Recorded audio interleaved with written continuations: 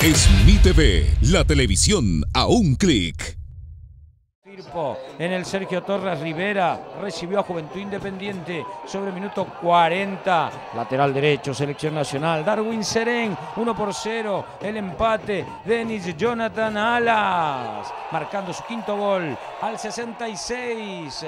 La cuenta aumentaba para los pamperos por intermedio de Anel Canales. Pero dos minutos después, el eterno Juan Carlos Reyes puso el empate y ya sobre el final, tiempo agregado, Juvini Salamanca le dio el triunfo de visita a Juventud Independiente.